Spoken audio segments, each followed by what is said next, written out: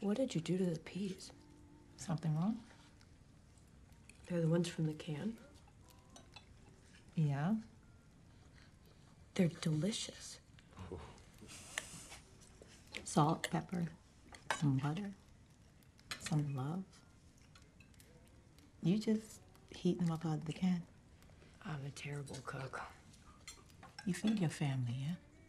Yeah, but Then you're the world's greatest chef.